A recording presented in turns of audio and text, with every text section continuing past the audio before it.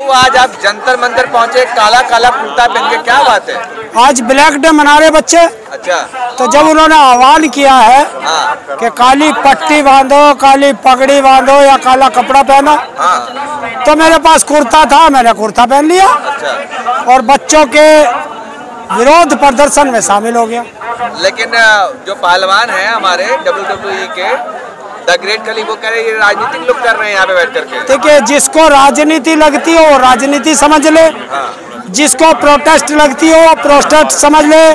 और जिसको लगता हो न्याय मांग रहे हो वो न्याय समझ ले। अच्छा ताऊ काले कपड़े पहनने से क्या होगा? सरकार नीचे आ जाएगी क्या? ये तो फ़ैशन कर रहे हैं काला कपड़ा पहन के आप। काले कपड़े से मोदी डरता है। तो मुझे क्यों?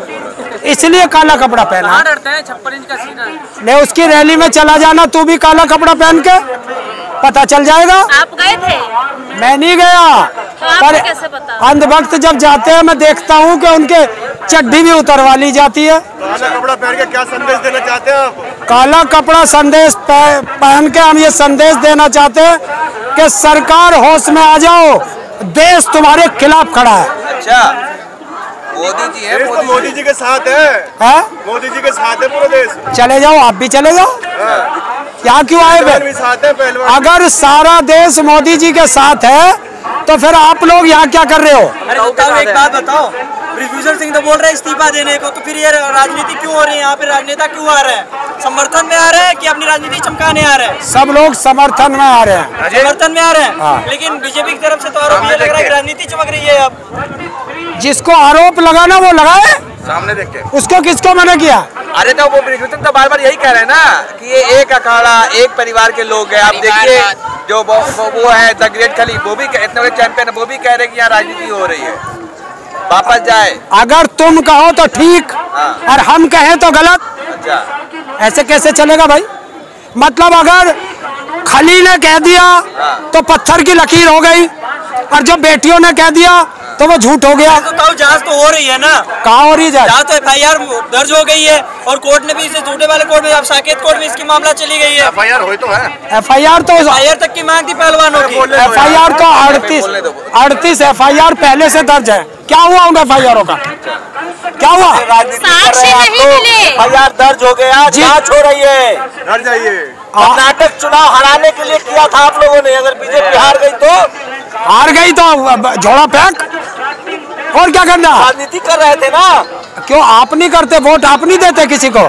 तो आप लोग कर्नाटक हराना चाहते थे ना बीजेपी को। अब हरा दिया ना आप लोग। अरे ठंडा हो गया ना। कर्नाटक में हमारी यार एक एक पहले एक एक बात करो। एक का जवाब दे दो फिर उसका छूट जाएगा। कर्नाटक चुनाव में हमारी वोट थी। वो कर्नाटक की जनता ने देखा है। अरे जब तुम लोग कर्नाटक के लोगों से 40-40 परसेंट कमीशन खाओगे तो जनता क्या करेगी तुम्हारा? मतलब राजनीति कर रहे हैं आप लोग। टुकड़े टुकड़े गैंग है ना? आनंद जी भी आप लोग हैं। 2014 से पहले कोई टुकड़े टुकड़े गैंग नहीं था क्या? था कोई? लेकिन करनी सेना ताऊ जी करनी सेना तो बुलडोजर लेकर आ रही है। यार दे यार। किसको मना किया है? तुम भी आ जाओ। ये जंतर मंतर है हर आदमी को प्रोटेस्ट करने का अधिकार है। तुम भी आ जाओ लेकर राजपूत महासभा कह रही है कि हमारे पास टिकट से ज़्यादा खेत है खलियान है ज़्यादा ट्रैक्टर है हमारे पास। पावर ना दिखाए हमें। हमने किसी किसी जाति या धर्म के खिलाफ हम लोग वो लोग बोल रहे हैं। हम लोग सरकार के खिलाफ बोल रहे हैं। हमें किसी जाति और धर्म से कोई बात ही नहीं करी। हमने तो अपनी भी जाति नहीं बताई।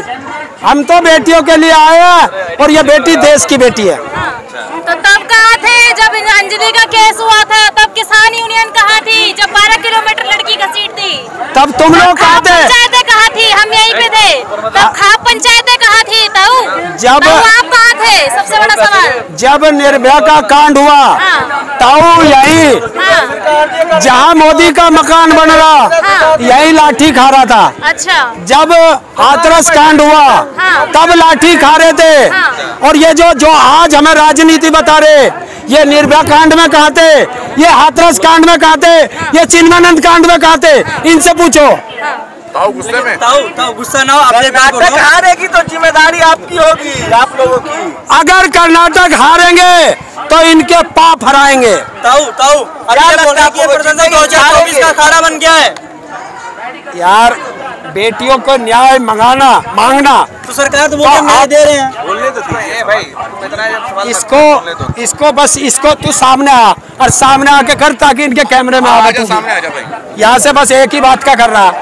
ऐसे जना कितने आवे सवाल करने वाले। रुक जाओ भाई रुक जाओ पहले इसी के कर कितने सवाल है तेरे अंदर? कर आज तेरे सवाल मैं ये बोल रहा हूँ कि सरकार बोल रही है जो ये प्रदर्शन हो रहा है। ये राजनीति अखाड़ा बन के प्रदर्शन नहीं हो रहा है। ये और एक ही परिवार का आरोप लगा रही है। सरकार क्या इसे मानना है? और सरकार ने कई सारे मंत्री बोल चुके हैं ये सारे। जब ये बेटी मेडल लेके आई थी तब तो मोदी ने कहा था ये मेरी बेटी है। तब नहीं कहा। और एक काम करना सारे सवालों का एक जवाब। जब ये मेडल लेके आई थी इन्हें कागज़ का सर्टिफिकेट भी मिला था। उस पर दिखाओ एक अखाड़े का नाम हो एक जाति का नाम हो एक धर्म का नाम हो या एक स्टेट का नाम हो उस पर क्या लिखा? बता तू ही पत्रकार महोदय। क्या लिखा उस पर जब खुद को ही नहीं पता। अरे भारत को मेडल दिलाया है ये लिखा था तो भारत लिखा है? जी। तो ये बेटी किसकी हुई? भारतीय बेटी है सारी तो- बेटियाँ भारतीय ही तो, होती है तो आज तो आज क्यों कह रहे हो तुम इसे? जाति और धर्म में क्यों बांट रहे हो? तो हरियाणा से तीन लड़कियों को केवल समस्याएँ हैं। अरे ताऊ जब उसकी बहन नहीं आ रही बबीता फोगाट वो खुद बैठी घर में आराम से इसके खिलाफ बोल रही है तो फिर क्या? अगर मेरे परिवार के लोग हाँ। मेरे खिलाफ बोले तो न्याय मांगना छोड़ दूँ? ये कैसा आंदोलन है जहाँ अपने घर के लोगों को नहीं समझा पा रहे हैं? देश को क्या समझाएँगे? मोदी अपनी पत्नी को नहीं समझा पाया तो देश क्या चलाएगा? लेकिन ताऊ जी ताऊ जी प्रधानमंत्री के बाद सर्वोच्च देश के एक पद पर बैठे हुए हैं। उनके बारे में ऐसा बोलना सही नहीं ऐसा बोलना ठीक है। कि, कि, किसने? क्या है वो? योगी प्रधानमंत्री इस देश का नौकर है वो। तनख्वाह लेता है। इस देश के जनता के टैक्स के पैसे की। योगी जी ने कहा है कर्नाटक में। मोदी का या प्रधानमंत्री का विरोध राष्ट्र का विरोध है देश का विरोध है। और बेटियों का विरोध। हाँ। इस देश की गद्दारी है। जब जवाब दो। गद्दार कौन है? कौन जो बेटियों का विरोध करेगा। मोदी के कबर खुदने के नारे लग रहे हैं वो क्या है? एक वीडियो दिखा दे मुझे कहाँ लिख रहा। अच्छा। पप्पू यादव जी आके जो बोल के उन्होंने नारे लगवाए यहाँ पे कहाँ लगे हैं तुम? दिखाते क्यों नहीं व्हाइट शो में दिखाया है पूरा पूरा। तो ब्लैक एंड व्हाइट शो किसका है? सुधीर चौधरी रात रात देखा था जैसे उसकी माँ मर गई हो? हाँ। चेहरा देखा था उसका? क्या हो गया था? कर्नाटक में हार रही बीजेपी माँ मर रही है। उसकी जो सौ करोड़ की रिश्वत लेकर के तिहाड़ जेल जाता हो उस पर देश विश्वास करेगा? क्या लगता है राष्ट्रवादी पत्रकार नहीं है वो? राष्ट्रवादी पत्रकार है वो? अरे गद्दार चाटुकार पत्रकार है वो। क्या बचा यहाँ पे नारे लगे थे आरएसएस मुर्दाबाद मनुवाद मुर्दाबाद। बेटियों को कितना लाभ हो रहा है इन नारों से? क्यों?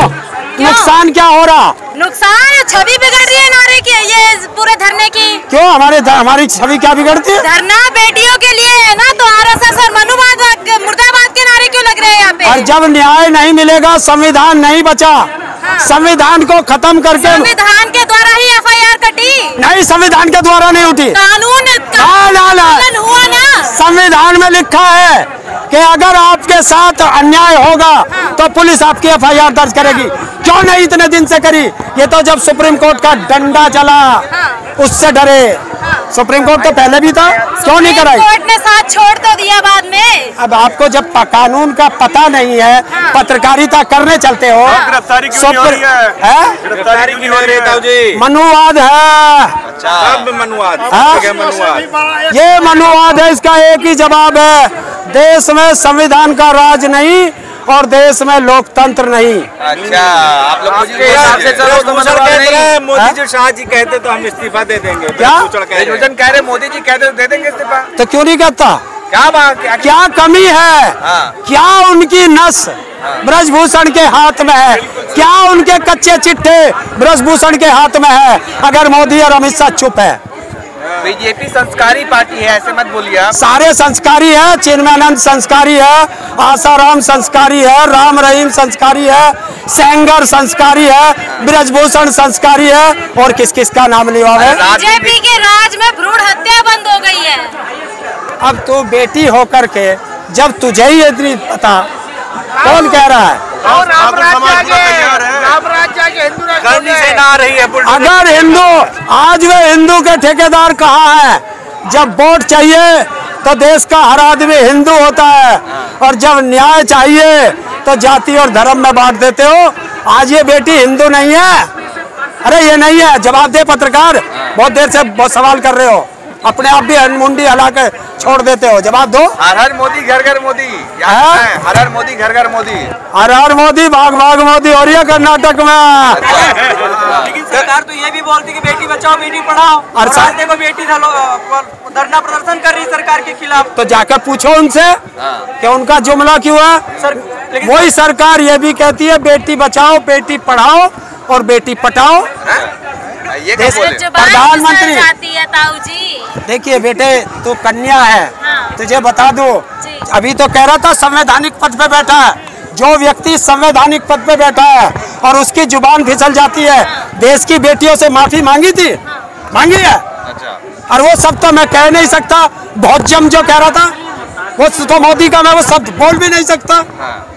अच्छा। संस्कृत बोलने के चक्कर में क्या बोलते हैं? क्या बोलते इन्हें तमीज नहीं शब्द मैं मर्यादा रखता हूँ।